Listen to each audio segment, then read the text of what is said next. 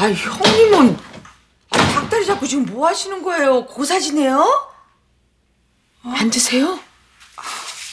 아까부터 머리가 좀 아프네.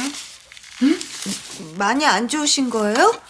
병원 가볼까요? 아니, 그 정도는 아니야. 아, 저기 혹시 기억이 돌아오시려고 그러시는 거 아닐까?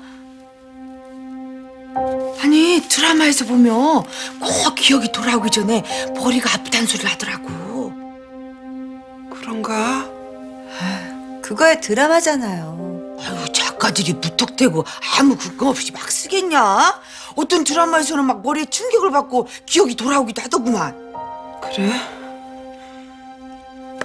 어머, 어머 이러지 마세요, 엄마. 어 아파요. 아니야, 아픈 건 얼마든지 참을 수가 있어. 내가 기억이 빨리 돌아와야 너랑 도준이가 편해질 거 아니야. 아 아 아니에요. 저희 저희 하나도 힘들지 않아요. 하, 기억 다시 찾을 수 있을 거예요. 제가 도와드릴게요.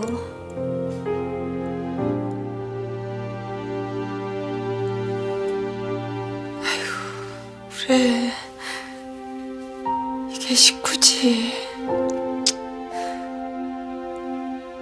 아유 아버지 싶어요.